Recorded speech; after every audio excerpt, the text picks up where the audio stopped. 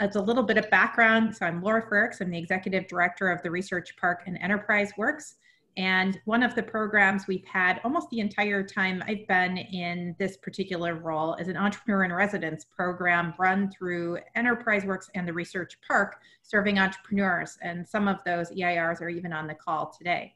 But prior to that, before our operation took over that kind of responsibility and configured the program the way our clients know it today as a free resource, there was early work being done, and that included with Illinois Ventures and Neil Kane as one of the original entrepreneurs in residence that was serving clients that were working on commercialization of technology from the University of Illinois.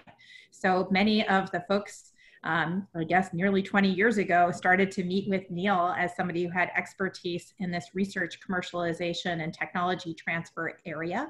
And he also was one of the original leaders, founders of a company called Advanced Diamond Tech, which would go on to raise significant money, have lots of federal funding, and um, grow in the Chicago area. So um, those are some of the experiences he had right in our own walls at Enterprise Works and part of the early days of trying to work on how we would do a better job of startup and entrepreneurship activities at the University of Illinois that included Illinois Ventures, the Office of Technology Management, and Enterprise Works working together. Now, since then, Neil moved out of our community and has had a number of roles that he's going to tell you about, I'm sure. But most recently, we reconnected via Facebook, um, uh, in addition to conversations we've had over the years uh, briefly, and that he had become an author of a new book about innovation. And of course, for our companies in the research park, we thought this was appropriate both for our entrepreneurs and some of our larger companies that may be joining us today. And so Neil's trying to quantify it, much like a scientist maybe would approach something of trying to come up with um, a more uh, specific and programmatic sort of approach to this of how do you do innovation. But as we all know, there's a lot of art that goes into it as well. So I think he'll talk about the balance of those things and how do you inspire change and come up with truly innovative companies. So thanks for joining us today, Neil. It's certainly easier to do that when we don't have to travel. We can have people from out of state virtually um, rejoin us, but this is somebody um, that we have known for many years. So welcome back, Neil. Thank you, Laura. It's good to see familiar faces again. Uh, I welcome all of you participants to turn your cameras on if you're comfortable, but if you wouldn't mind muting your microphones though, I'm sure that that will help make sure that you can hear me well. Um, you know, uh, Laura, I was reflecting today, I don't, I'm sure it wasn't the last time I was at Enterprise Works, but you had me speak um, shortly after I left Advanced Diamond Technologies. That was on October 5th, 2011. And I remember that date specifically for two reasons one good one and one unfortunate one. Number one, Laura, I think that was your 21st birthday. Uh, and I remember um, singing, singing, Happy Birthday to you in the atrium of Enterprise Works that afternoon. Um, but as I was driving back home later that day to Naperville, where I used to live, uh, I heard on the radio that Steve Jobs had died. So that date is just like really seared in my memory. Uh, but again, thank you for the opportunity. Let me go over to PowerPoint and share my screen. My biggest um, reservation today is just not having enough time to talk about everything that I would love to talk about and that I could talk about. As Laura mentioned, the uh, opportunity to reconnect with everybody and speak today is due to the fact that a book which I co-authored came out a couple of weeks ago. But I was also asked to talk just a little bit about my background. So I'm trying to walk a fine line and accomplish two different things today. One is talking about the book, and two is just being the old guy in the room now, imparting a little bit of wisdom and reflection on some of the things that I've done in my career. So I'm going to try to do both, but I invite questions. I think we've got a manageable group here and somebody else is apparently monitoring the chat. So if you have questions for me, please speak up and uh, I'll do my best to adjust my cadence as we go. This is a little bit about my background. I won't go through all of this, um, but I invite uh, those of you who would like to connect with me on LinkedIn, but specifically the slides here or a nearly identical version are available on the top of my LinkedIn profile. So if any of you want the slides, for posterity's sake or you want to take notes on them, you can uh, take advantage of them there. As Laura mentioned, um, I really think of myself as a serial entrepreneur and I came to uh, Enterprise Works, I think, even before it officially opened, probably in about the year 2000. But I relocated my family there to Champaign. I, am a graduate of the U of I, uh, but came back in 2004 and was working for what was, I think, version 1.0 of Illinois Ventures. Not quite sure what form it takes today or who's still around. I know Rob is, uh, but I'm not sure about the others. But uh, anyway, this is what the composition looked like at the time. And so I was the first entrepreneur in residence because once the university started focusing on tech commercialization and was beginning to build out the research park, John Banta, who was in charge at the time, realized that they needed people who had some experience actually building companies. And so I was often the co-founder or counterweight to a grad student or a professor and help them launch their companies. And through that time, I worked uh, on many businesses. I don't know that you'll know the names any longer, but um, I worked with Phil Krein getting Smart Spark off the ground and Larry Markoski, who was a grad student at the time. And I worked with Yi Lu and Ken Suslick and John Rogers, who's now at um, Northwestern and many others. Now, a little bit more about my background as an entrepreneur. People sometimes find it ironic or maybe even humorous that my very first entrepreneurial foray was making barbecue sauce. But when I got out of the MBA program at the University of Chicago, um, I was basically unemployed and there was a very unappealing job market. This was in the early 90s. And so I was inspired to try to start a company to bring to market this famous barbecue sauce that my grandfather had uh, invented at the restaurant that he had in Chicago in the 1930s. So all of this is a true story, and if I had more time, I could go into the lessons that I learned. But suffice it to say, this was my first exposure to starting a business, and the key takeaway from all of that, since I did this immediately following getting an MBA, was the extraordinary difference in learning that you get between sitting in a classroom or hearing other people's stories and actually doing something yourself. So even though it was a simple product and a small business, um, what I learned and took away from it was amazing. Back to my time at Enterprise Works, I mentioned one of the companies that I worked on at the time. It was called Smart Spark Energy Systems. Then uh, it became SolarBridge. They later wound up moving to Austin, Texas but I was um, the interim CEO in helping that company get off the ground for a couple of years during its foundational time.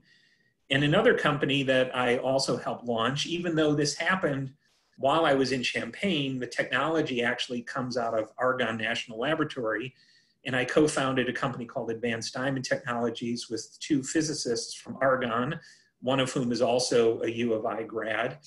And uh, we basically made synthetic diamond. And when my uh, uh, period of time as EIR ended, the launching off point for me was going into this company and becoming full time CEO. And I ran the business for about the next six or seven years uh, until about 2011. During that time, we raised, I think, about $12 million through angels and institutional VCs, raised about another eight or nine million through SBIRs and, and the like. And so this, for me, was um, unquestionably the most intense startup experience I had as a leader.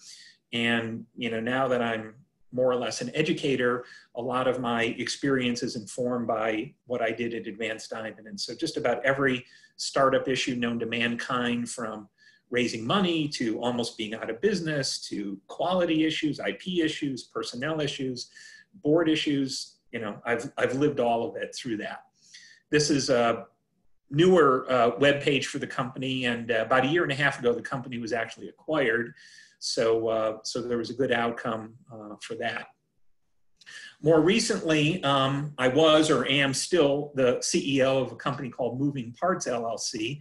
I bring this to your attention because my co-founder in this business was an undergraduate student from Illinois Tech, the Illinois Institute of Technology. And he was like 20 years old at the time that he came up with this puzzle idea. You can clearly see that it's kind of like a Rubik's Cube, but not exactly. And uh, he, um, um, my, my partner Dane, um, always kind of had this idea in his mind of doing this sort of thing, but it wasn't until he got to his university and had access to 3D printers and the other uh, resources that were available to him through the entrepreneurship program there that he was able to figure out exactly how to do this. And so um, I joined him as kind of, again, the, the experienced guy dealing with the financial issues and the um, business model issues and the logistics and so forth. And uh, at least for a couple of years, we had a really, really good, profitable business making X cubes. It's very fun to talk about. And uh, if I had more time, I would take you through the whole arc of what we learned there. In the first couple of minutes here in my talk, I want to just share some lessons that I've learned. And then in a few minutes, I'll transition into talking about my book and what we did in, in that so that you can uh, hopefully take away some, some good techniques. And I'm sure people like uh, Alan Singleton will smile or wince as I go through some of these lessons here. But the first and most important lesson, especially for those of you who are working on businesses, is investors don't fund businesses, they fund people. And if you, and, and if you really sort of embrace and begin to understand the distinction between uh, those two ways of looking at the world, you'll, you'll find yourself uh, in much better shape. Um, I've, I've learned the hard way. I've learned firsthand, and now I see it everywhere I go, mentoring other teams, especially young people at the university level, that fear, the imposter syndrome, anxiety, shame, all of these kinds of emotions very quickly enter in, especially when you really don't know what you're doing. And it's almost axiomatic that most entrepreneurs don't, especially if you're doing something innovative. It's almost always the case that you're trying to do something that nobody's ever accomplished. And so dealing with just kind of what's going on in your headspace uh, is a huge issue. And it's infinitely harder than it appears. Even the great successes are challenging, and most startups don't become successful. Um, I have a lot of respect uh, for other entrepreneurs and have developed uh, some empathy and appreciation for what it is to go through it. By the same token, it's a lot easier to criticize than it is to do. And I find myself even today having to catch myself out of this temptation to want to tell other people what I think is wrong with their business idea. And that's wholly inappropriate. It's not my job. And so you really need to be, you, you want to listen to experienced people and get guidance and advice, but be very careful about people who are critical but unhelpful um, unless they really have the, the experience to back up their stories. I recommend to everybody, especially faculty founders, that they get trusted business advisors. Because what I learned often coming in as kind of the hired gun CEO is I would be trying to explain to people who've never been around startups before things that to them appeared very counterintuitive terms and conditions around license agreements and understanding about the control provisions that investors might get if they finance your business. A lot of that was just very confusing and off putting to people who had never done it before. So much so that it often became an impediment when people thought that they were getting screwed when in fact they were not. So my recommendation is find somebody in your camp who is loyal to you, but who has the experience who can help you.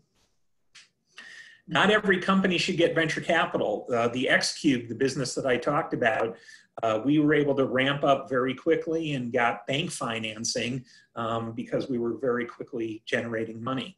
Um, so venture capital often dominates a lot of these kinds of seminars and talks, but not every business is appropriate for venture capital. There's a lot of different ways to build successful businesses, and I would encourage you to uh, make sure that you're really listening to data. You know, intuition is an important part of the process, of course, but be metrics driven. And at the end of the day, it doesn't matter what you think, it's how the markets respond that are going to determine whether or not your business is successful. Uh, finally, uh, it's also important, especially if you're going to be asking other people for money, that you understand what your exit is going to look like. Uh, if you can't articulate that, you're going to find it difficult to raise money. And then my advice for students basically um, is to really work on your communication skills. And you rarely hear people talk about the value of project management, but as again, somebody who's been through this many times, the ability to know what you need to do to plan your work, to be accountable for the results and the time frame on which you're going to do it are really, really, really important. Note here that I'm not talking about any particular expertise. You could be a humanities major, you could be a computer science major. To me, that's much less important than a lot of your sort of cross functional skills in how you behave and contribute to a startup. And then the last point is if you want to be an entrepreneur or particularly the CEO of a company, you better learn how to sell because you're going to be spending an awful lot of time doing that, not just selling your product, but selling yourself to investors, selling your vision to people that you're trying to recruit to join your team, and so forth. And back to the fear question, you know, um, you've probably heard people say this a lot, but in Silicon Valley, they really value entrepreneurs who've kind of been there, done that. And even if they so-called failed, um, they're still highly sought after for their expertise. That's kind of less common uh, in the Midwest, but a good way to sort of think about protecting your kind of downside risk, if you will, is that you either make your business successful or you'll learn something. And if you learn something, you can still propel and accelerate your career. And I've seen this happen many times, even by having what we might call a quote unquote failure. So if you think about uh, the outcome in these terms, sometimes it's a lot easier to get past uh, the anxiety and the other issues. And this is my last slide on, on, on this point. To founders, again, whether you're a student or a faculty founder, the first conversation that I always have with people is to really understand what's your motivation. Um, everybody's got to have a motivation. It can be to make money. It can be to want to help people, to solve a social problem, to get your technology out into the world, to become famous, to help your career arc, to get published. Whatever it is, doesn't matter. Um, many motivations can be sufficient. But the importance here is that you are in tune to that and you understand it because your motivation is going to influence uh, who you hire, how you communicate your vision, the type of investors you want to align yourself with, what your exit is going to look like, the control that you want to have, and so forth. And then I just point out the very, very last bullet, which I highlighted, you know, know thyself. The first step is actually getting clarity around your own motivation rather than just jumping right into the business. Okay? Um, I'm just going to pause briefly are there any questions or any remarks? Otherwise, I'm going to do a pretty hard transition here and now start to talk about the book. But I'll give everybody an opportunity if they want to jump in with anything. Neil, can you speak a little bit too? I like some of your points about different paths towards startup uh, or small business and not, not everybody should be seeking VC funding that can be a hard conversation as it seems like that is heralded by society as a success metric, but it's not right for every company. How do you coach as an EIR um, through uh, entrepreneurs and inventors that are considering this without that being seen as a negative piece of advice? That's a great question. I, I think it's a longer conversation and I'd be happy to have it with you know anybody who's out looking for it. The first thing is to understand that if you think that you are seeking venture capital, you have to understand that you're going to be giving up control of your company to outside investors. So clearly, there's sort of this cultural kind of macho sort of thing or this reverence that we have for people who manage to raise venture capital, but it comes at a huge cost. And significantly, as an owner of, or a founder of a business, you're far better off not raising venture capital if you can avoid it. And so some businesses like Advanced Diamond Technologies, I mean, we needed $25 million to get, you know, product in the market. And so that was clearly the kind of company that required venture capital. But in the case of the X Cube, you know, we just needed a couple hundred thousand dollars and we're able to find that money in different ways and thereby retain a lot of control and all of the profits for, for the founders. So the punchline is, you, you got to understand whether the business requires venture capital. You have to appreciate what you're going to give up in terms of getting it, the kind of control that your investors will have. And, uh, and then beyond that, it's just, you know, kind of situational. But my advice to founders is venture capital should be a last resort, not a first resort. Okay. did I answer your question, Laura? I just want to make sure it's. Yeah, that's great. Let's move on to your formula. All right, very good. So thank you. Uh, and again, to the rest of you, again, please speak up or enter something in the chat box if you have questions. So I'm doing a hard pivot now. What I just got done talking about was kind of my experience. it's wonderful talking about myself. Who doesn't like to do that? Uh, but now I'm going to talk about a book and try to give you hopefully some, some takeaways that might help you in thinking about bringing your products to market. So the, the name of the book, of course, is The Innovator Secret Formula. I want to acknowledge my co-authors. I did not write this alone. And in particular, Chris Sorensen is also a U of I grad. So I wanted to make sure that that was mentioned.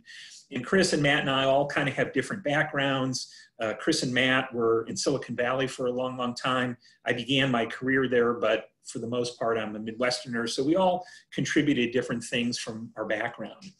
I want to begin by using this slide from CB Insights. And what we've done here is identified the top five reasons, the top five of the, you know, they list the top 20 if you read the whole article, but these are the top five reasons why startups fail. No market need overwhelmingly is the top one, running out of cash, not the right team, getting out competed, pricing cost issues. And four out of the five, there's not much that we can address today in talking about the team, but the other four are all related to this notion of what we call product market fit and whether or not you as a company have developed a product that provide the right kind of service or features or benefits to the target market that you're addressing. And so, in one sentence, the book is all about doing a deep dive on product market fit, and that's what I'm going to talk about. Even if you're familiar with the concept, uh, we try to take it to a new level, which I'll get to. So, to begin, there's basically three laws of disruption. Everybody, I think, probably thinks about or fantasizes about wanting to have a disruptive company or disrupt an industry. It's a lot harder to do than it appears, of course, but the um, financial gains can be astronomical if you're actually successful in doing it. But we've codified three laws. The first law of disruption is disruption comes to us all. And what we mean by that, and some of you may have seen a slide like this in the past, it is really true that things are accelerating. We often say that, but it's really, really true.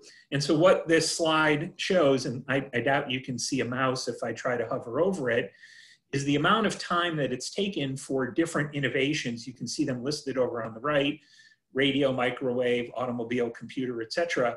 From the time they were introduced to when they achieved some certain threshold, say 60 or 80% of penetration in US households. And so if you look at the innovations that were introduced in the early part of the 20th century, radio, automobile, etc., washing machine, you can see that it took 20, 30, 40 years in some cases to reach that high level of penetration. And then if you look over on the right and see things introduced more recently, smartphones, social media, uh, and tablet computers, just to name three, you can see how they've reached that same penetration in just a couple of years. So it's not your imagination. Things really are speeding up. Product cycles are shorter. It's a lot harder to compete when things move this quickly. I just, it's kind of fascinating. I draw your attention. I don't know if you can make it out exactly, but over on the far right where it says landline, if you follow that green line back, what you can see is that the telephone actually got to like, or landlines rather, got to 90 some penetration 90% penetration.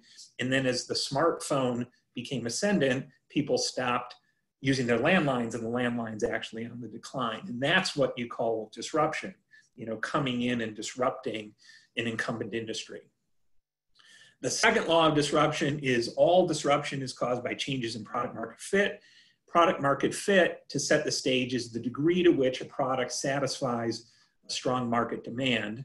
Marc Andreessen, famously also a U of I graduate, said um, product market fit is the only thing that matters because really what else could it be? I highly recommend reading this sort of famous blog post. The link is there at the bottom of the slide.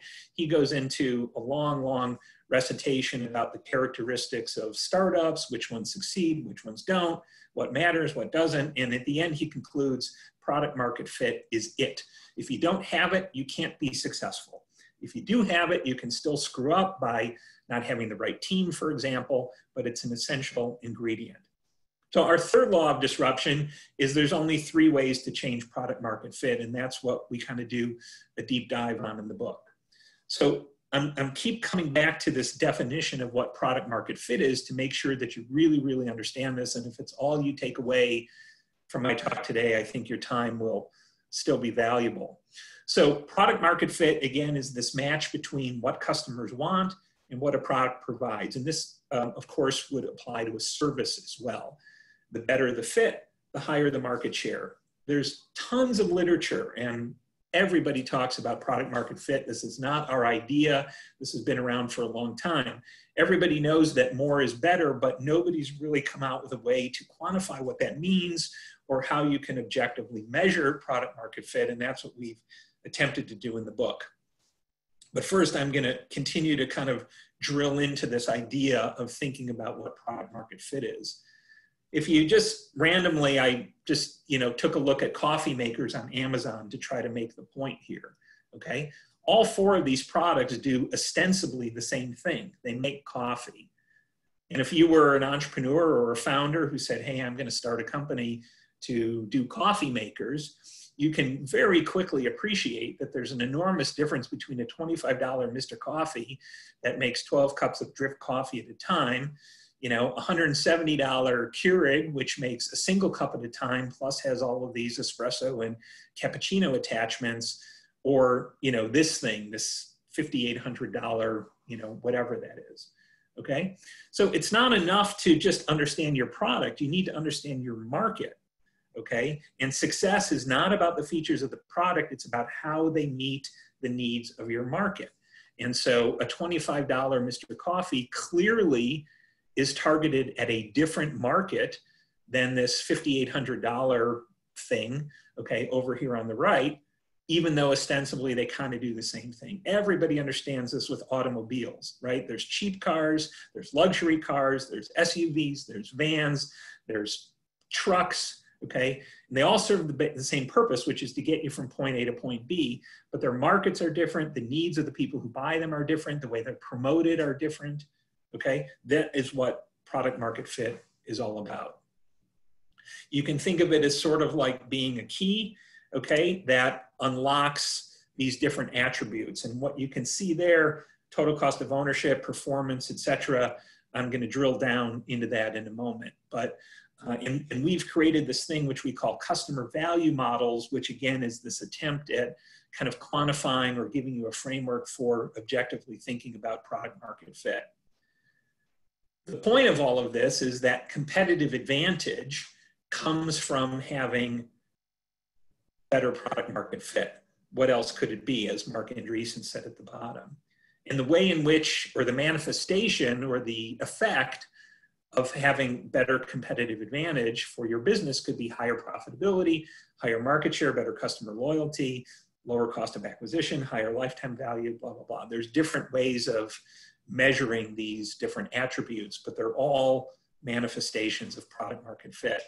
If you have low product market fit, this is what most days feel like.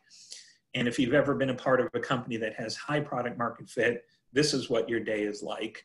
I'm not diminishing the challenge of managing a high growth company, but I would certainly take that challenge uh, over one that doesn't have high product market fit. And so I can tell you from my own experience, I've been involved in many companies, most okay, that have gotten a product to market. Everybody's kind of excited. You, you know, you might have some initial traction from some customers, but unless you really get that product market fit, your chances are you're not going to be successful in the long run.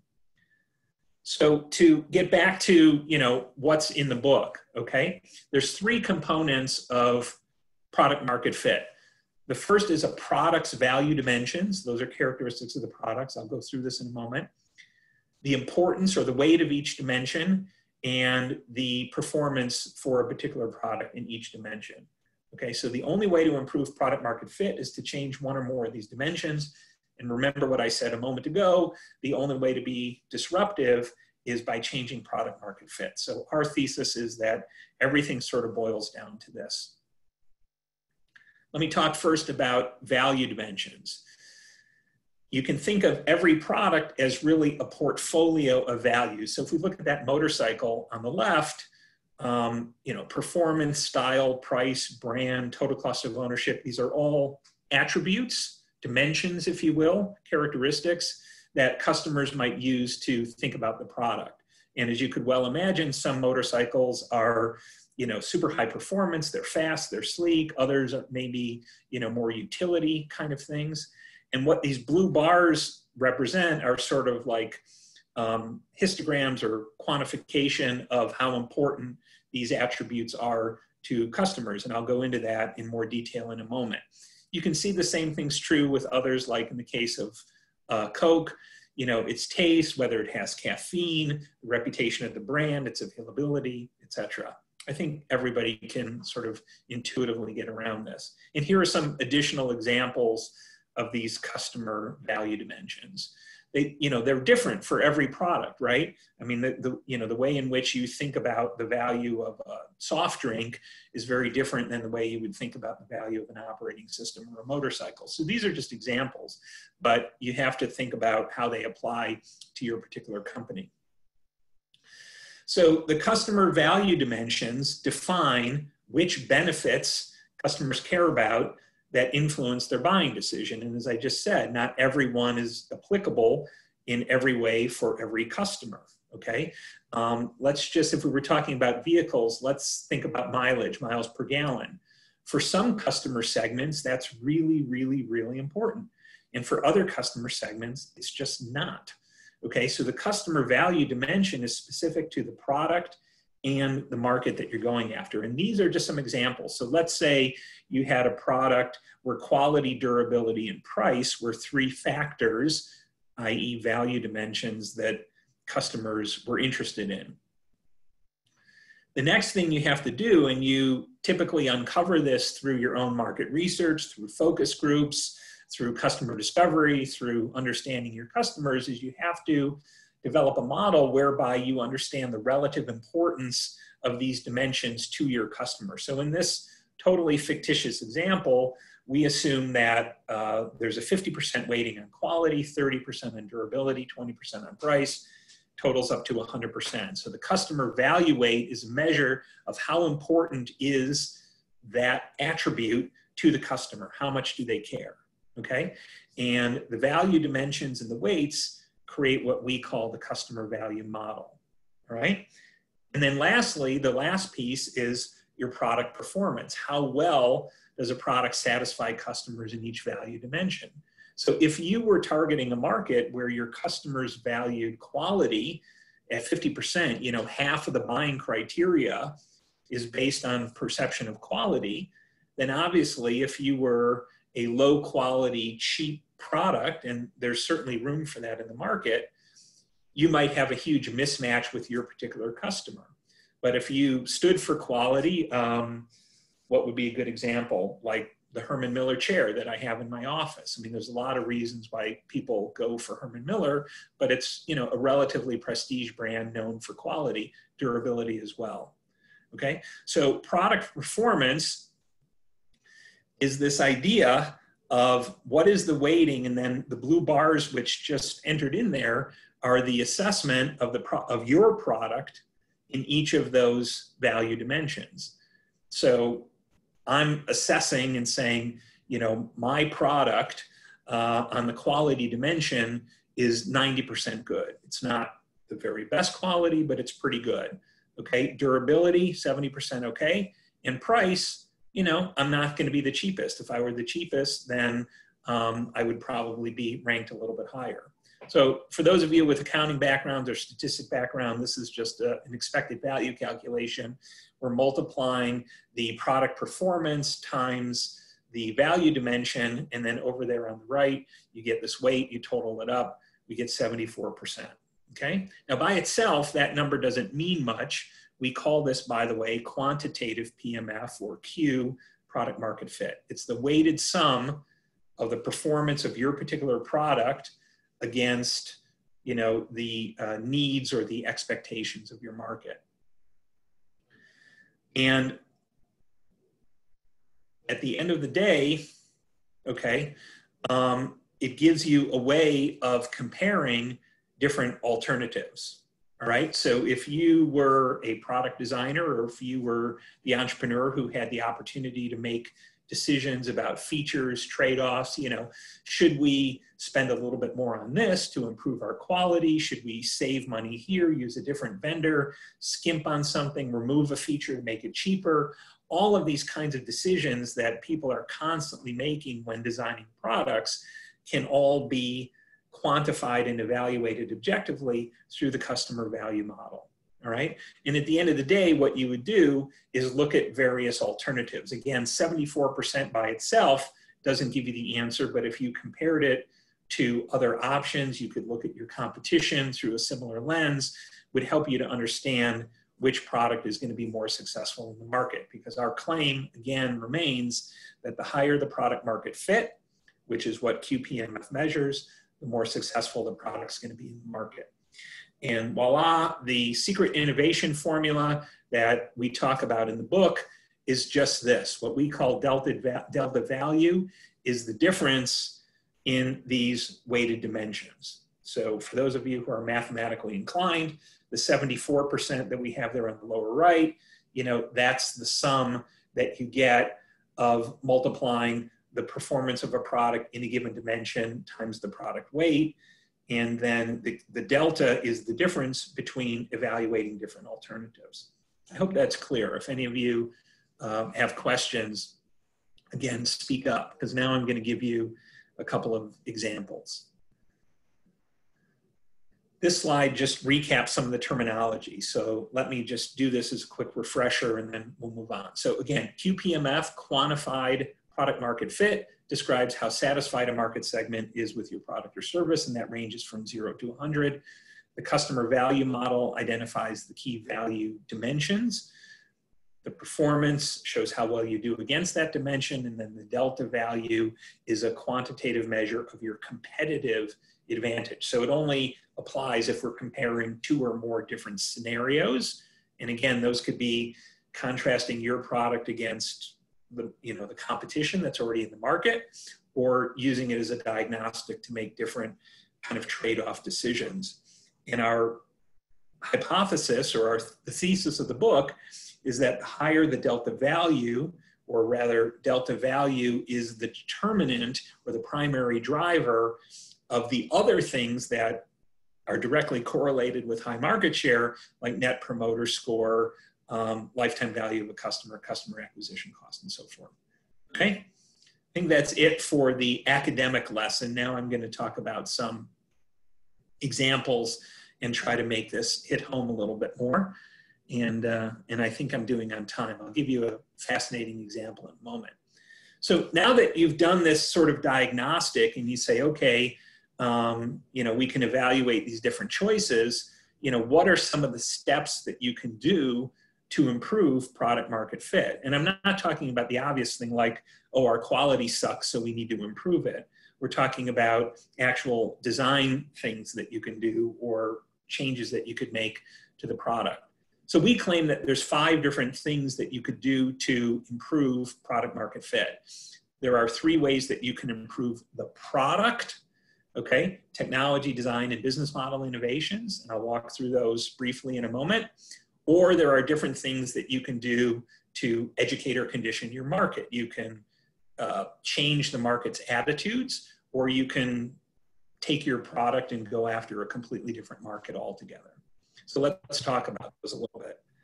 So technology innovation, we're not talking about small improvements, we're talking about major leaps that have occurred due to completely new technology platforms. So if we think about lighting, Okay, once upon a time it was candles. Everybody knows, you know, Edison invented the light bulb when CFLs, um, compact fluorescent bulbs came out. You know, they solved the same problem as the previous generation, but they were superior if we, you know, had modeled it according to the customer value model that I just showed you. Uh, and now everybody's familiar with LEDs. Okay, so you know they're cheaper, they're brighter, they last longer, in almost every way, unless you're looking for a source of heat, you know, LEDs are better than the things have, that have preceded them. Okay, and this is what's meant by disruption, these sort of huge leaps. And when a new generation kind of comes out, it almost completely, you know, obliterates the previous generation. If we think about recorded music, here's another example. we went from physical, you know, analog recordings like on wax or vinyl records to like magnetic tape, which as antiquated as it seems today, was actually superior form factor to vinyl. Then compact discs, and then you know MP3 players. Um, the iPod, of course, really provided a lot of the integration that made MP3s very popular. The MP3 format by itself was going nowhere until Apple figured out kind of how to package it. And then now it's just been subsumed into other kinds of devices, you know, like the iPhone and Alexa devices and so forth. But again, the same story more storage, better quality for less cost. Who wouldn't want these improvements?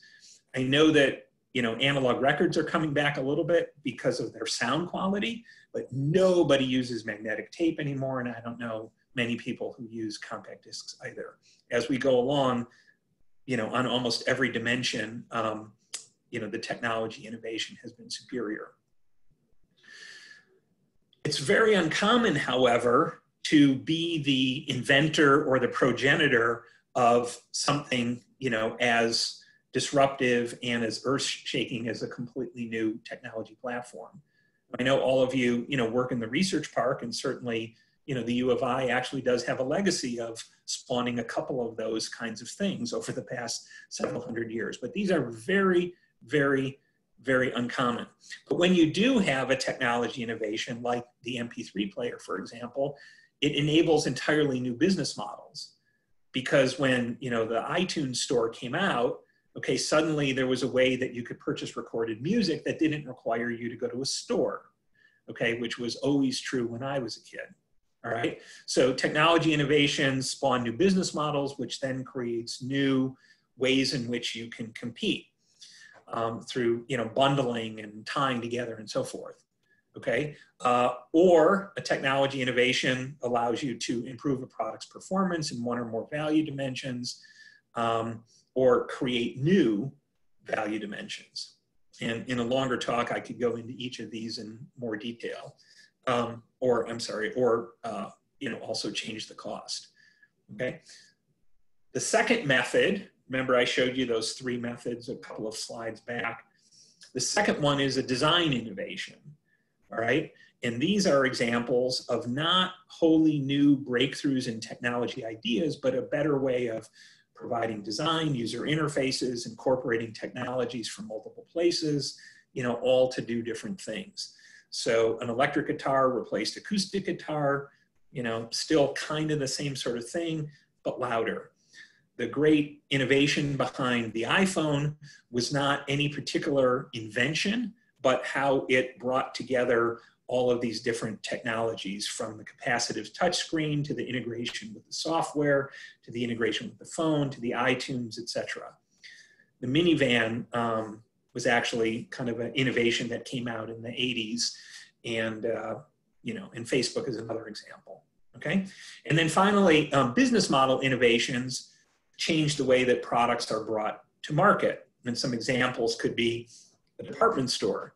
Seems impossible to sort of comprehend today that that was once innovative, but prior to that, you had all these retail storefronts on Main Street, you know, and if you needed clothes, you went to one store, and if you needed shoes, you went to another store, and if you needed food, you went to another store, and if you, you know, if you needed a wallet or jewelry, you went to another store. And so department stores were actually quite innovative. And probably many of you know the stories of Marshall Fields and Selfridges and all of those kinds of uh, great entrepreneurs of 100 years ago. But you can see some of the others, even like Starbucks. Okay, they surely did not invent coffee, and coffee houses were plentiful and common you know, prior to Starbucks coming along, but they just created consistency and a brand and quality and um, they, they turned the coffee house into a meeting organ, a meeting place for communities and, you know, and did so very, very effectively. You can see some of the other examples there. Okay. Then going back to the slide I showed you before, there were two ways of changing the market's attitudes. If again, your goal is to increase your product market fit. So if you're stuck with a product, okay, or you can't change the product for whatever reason, you can think about different markets. So the first one is change customers' attitudes about the importance of a value dimension. And I'll give you a great example here. Okay, Crisco. Uh, hopefully, many of you know it's it's shortening. It's basically kind of like solid oil, if you will. You cook with it, okay? Um, but uh, what Crisco did was it uh, actually disrupted the market for lard. Okay, if we go back 115 years or so ago, uh, Procter and Gamble actually they started out in the candle business. Um, and remember a slide that I showed you back a little while ago.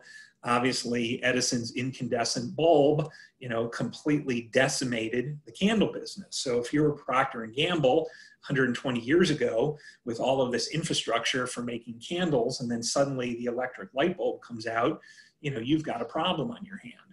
Okay. And what they had in terms of their fixed cost and their infrastructure was cottonseed mills, eight of them, I understand, producing cottonseed oil from which they made candles. And then, of course, Procter & Gamble got into the soap business as well, which is another famous story. Okay, so suddenly they were stuck with, you know, all of this infrastructure, kind of like, you know, record companies had when CDs came out, and they had to do something about it. So the way they looked at it was, what are what is a new product that we can make from this abundant supply of cottonseed oil that we have? And what they discovered was that by hydrogenating or adding hydrogen to liquid cottonseed oil, they could turn it into a solid that resembled lard. And so what they came up with was Crisco, and the name there is actually an acronym that means crystallized cottonseed oil. Okay? So it was kind of an invention of a new product, if you will, targeting an existing market. Lard was, you know, very famous and very plentiful, available in every you know, grocery store probably in the world at that time. Uh, for any kind of baking or frying or whatever, you know, lard was what you used. It was well known and liked kind of like butter. And then Cisco, or uh, excuse me, Crisco comes out with this synthetic product. And uh, in actuality, in taste tests, people did not like it. So again, the question was, if you're Procter and Gamble, what do you do? And this is what their customer value model showed them. Okay, uh, on the brand dimension, they had no brand identity whatsoever, and on the taste dimension, people actually didn't like it. They preferred lard. So as you can see at the bullet at the bottom, they couldn't compete on brand or taste. So what do you do?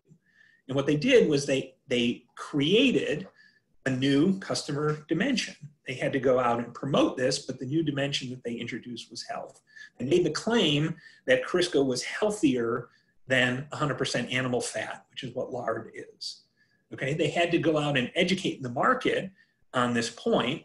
Okay, but because they were so dominant on this health dimension, okay, that by the time they did the customer value model, the the advantage that they had in health was enough to overcome the disadvantages that they had on brand and taste. Okay, I hope that's clear. Oops, I'm sorry. Um, and so the upshot of it is that they were, you know, obviously very, very successful. Um, in, you know, and even though they, we believe Procter and Gamble thought at the time, you know, that Crisco was healthier, um, it turned out, you know, decades later that because it was made of hydrogenated oil, which is the origin of trans fats, um, ironically, it probably wasn't even healthier. Um, Crisco is no longer made from trans fats, so you know they fixed sort of the product issues. But um, this is just an example of how they applied, you know, this thinking to reposition a product that was already available you know, by re-educating a market and recreating, um, you know, different customer dimensions. All right. Um, we're just about out of time and I'm just about on my last slide. So um, as you know, I mean, we've written this book. Uh, it's available at Amazon. I encourage you all to go check it out. We also have a website with some additional information. If you do buy the book, we love, love, love reviews. So please, you know, put a review in at Amazon. Um, the slides again are available on my LinkedIn page. You can see the my LinkedIn link there again. My email address is also there in case any of you, if you have questions, you're more than welcome to follow up with me or connect with me on LinkedIn. So unimaginably, and I mean that sort of heroically, since I was really worried about getting through all this, we're doing really well on time. So I'll open it up for questions, but I'll turn it back to Laura or whoever's kind of moderating to uh, keep us on track. And let me unshare my screen here so I can rejoin you in person. And for as much time as we have remaining, I'm happy to, uh, to take questions.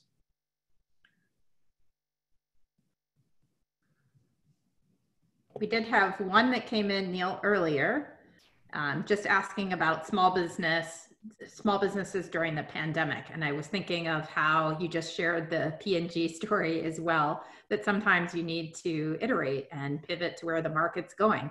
Any thoughts as businesses are challenged right now to think differently? Obviously, we're all sitting on Zoom, which is something we didn't do before. So there's uh, new opportunities as well.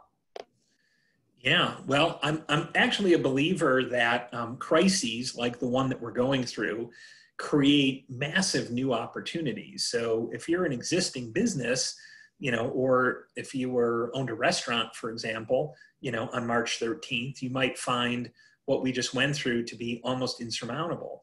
But from an entrepreneurial perspective, we can see that the crisis has created all sorts of new opportunities for personal protection equipment, new types of software for people you know able to meet and interact together online. So clearly there's damage done, okay, but there's also a lot of new opportunities. And if you have an existing business, um, my brief advice, because all of this would be very situational, is to go back to the fundamentals, which is the notion of product market fit. If your market has gone away because of the pandemic, then you got a problem. You either need to find another market, you need to iterate your product features, or you know whatever.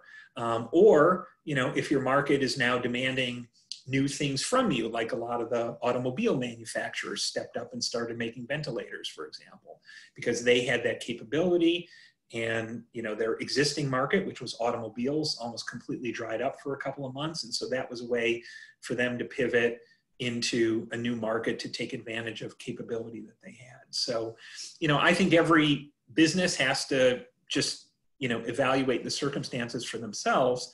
But rather than being, um, you know, terrified, um, I think uh, a, a better, a healthier outlook is to is to think like an entrepreneur and figure out where the new opportunities are. Great. Do we have any questions? I know I saw Todd, you commented. I don't know if there's anything in your work on innovation and you've been studying different platforms and innovation that you wanted to add to this conversation. Hey, Neil, this is Todd Hart from Graybar. Um, we have an innovation lab there in Research Park. And uh, no, I think what you say uh, really resonates. Um, you know, we are, as an organization, you know, we're large, um, seven, eight billion dollar company. And I think um, hopefully not not speaking too much out of turn, but I but I think a struggle of our organizations, which certainly isn't much different, I think, than other large companies, is just the the the, the intersection of innovation and strategy. And um, we recently moved my my operation recently moved from IT into the chief strategy officer, and so um, I, I think much much of what you're saying really kind of smacks of you know that intersection. So it really wasn't a question, but just I really enjoy what you you know what you've said. Well, thank you. I mean, I would echo that. It's hard to imagine, even if you're one of the companies that might be benefiting from the pandemic, and certainly there are those, you know, and there's no shame in that. Um, I, you know, if I were running a business today, I mean, I would clearly be completely rethinking my strategy from top to bottom either to double down on those things that are working or to pivot or you know abandon things. Again highly situational. It's hard to just you know simplify advice that would apply for everybody. But uh, i have to imagine that you know every executive in the world over the past couple of months has been has gone back to the drawing board to kind of rethink everything about their business from top to bottom. I mean i work for a university at the moment. I'm at michigan state and you know we're getting pay cuts and furloughs and all of that sort of thing. And there's hardly you know a more stable sort of secure uh, kind of entity in the world that's insulated from economic shocks than universities. But nonetheless you know we're in crisis mode right now. So.